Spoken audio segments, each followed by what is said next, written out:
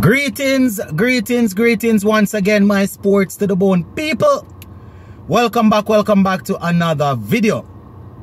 All right, my viewers. So in this one, I am going to be talking about a press conference uh, that was done by CWI and they had a couple of journalists asking questions online. Dr. Desmond Haynes was there and you know he was answering the questions as relates to the West Indies team selection. Now one question that stood out was the one that had to do with Shimron Hetmyer. Right, we remember that last week his wife made a post saying the most, how he was ready and he made it clear that he was available and they decided to rest him because they don't want to play him. All sort of foolishness or all sort of things she came out saying. Now, Desmond Haynes, he basically confirmed all of that.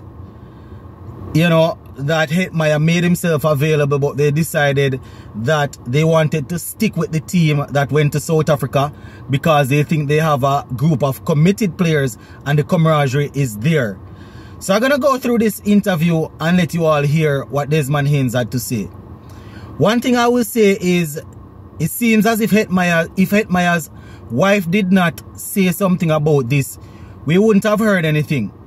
And as I said the other day, it seems as if CWI are now at a point where if someone like a Hetmyer, they decide not to select him, they are probably believe they don't need to come out and say why they didn't select him because he's not in contention, it seems.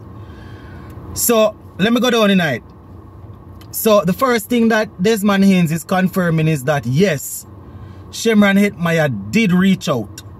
Right? He sent an email to Jimmy Adams and he was saying that he was available for the tour of uh for that tour to play the, the, the qualifiers that that's what in Zimbabwe if I'm not mistaken so he sent an email to Jimmy Adams uh, you know saying that he's available according to Desmond Haynes the selectors decided to stick with the team that went to South Africa so they decided to stick with the team that went to South Africa.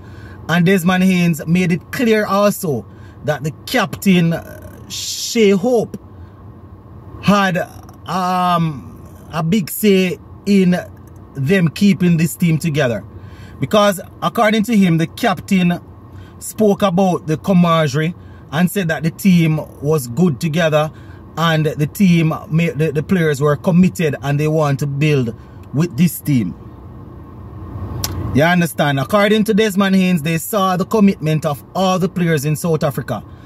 And, you know, according to him, they saw a change or a shift in the way they want to play ODI cricket.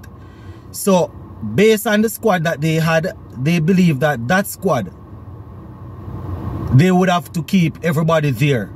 Plus, if they wanted to add, you know, maybe one or two somebody.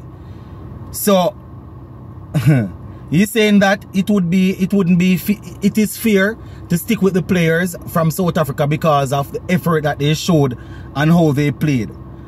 According to Desmond Haynes, nobody is being ruled out from being selected because according to him, we don't have that amount of depth in our, in the region.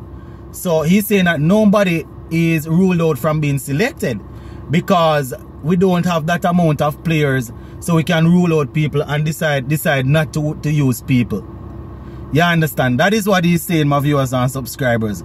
He went on to say that, um, you know, they're happy with the last series and the new captain showed that he was also happy with the players. So they decided to go that route. I don't know my viewers and subscribers. Um, because you're happy with a set of players or because a set of players did well, doesn't necessarily mean that you cannot um you cannot upgrade that squad. But I guess they are thinking that to upgrade to, to, to add one or two other people, you would have to drop people. No, the final thing that he said was about the fitness thing. He was asked whether or not Shimron Hetmyer was left out because of fitness.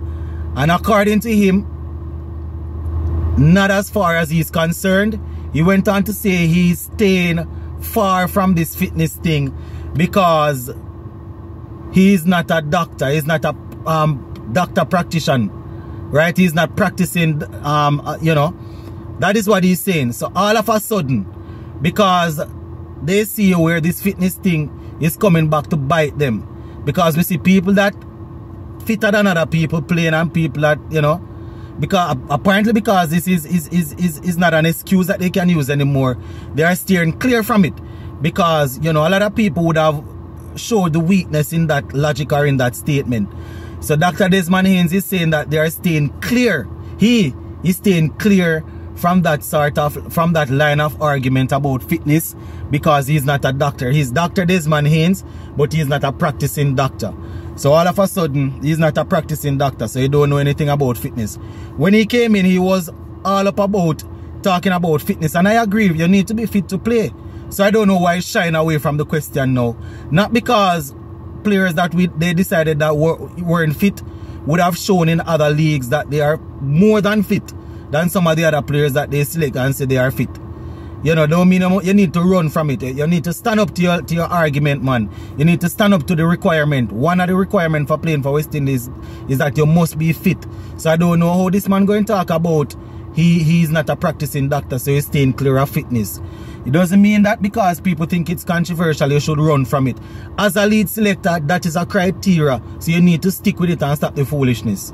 So that is that is that is what he's saying, my viewers and subscribers um, that Hetmyer, so there goes the answer for the Hetmyer situation. His wife posted, she's the one that let us know that Hetmyer reached out and made it clear that he was available, but he was not selected. So, you know, Desmond Haynes, I guess, had to answer that question after it, it was raised, basically to clear up everything and to let them know that, yes, he did reach out. As I said, they are probably thinking they are past the stage where they need to give a reason why Hetmyer is not in the team. So that is why they probably did not mention that he reached out and said that he is available. Um, some will probably say he's not informed. Some will say that you cannot trust him based on, on, on, on what happened the last time. You understand? So that is it where that story is concerned. Now, just before I finish, um, Jofra Archer is once again out because of injury, my viewers and subscribers. Suffered another injury, right? Think it's a stress fracture. I tell you, he's out for the for the summer, out for the for the Ireland series that they are going to play, and out of the Ashes based on what they are saying. Um, I see. Um, Ian Bishop was talking, and Ian Bishop said that you know this was almost like back in 2019. I think he said. I don't remember when in, in, in that Ashes series when they were overbowling him. You know, according to Ian Bishop, he looked and he was like, this is almost um, setting up the, the, the golden goose. You understand? So, Jofra Archer being the golden goose, you know, he was overworked. And I guess it, it, it is showing now. You know, Ian Bishop is saying that he should stay as far away as possible from red ball cricket right now.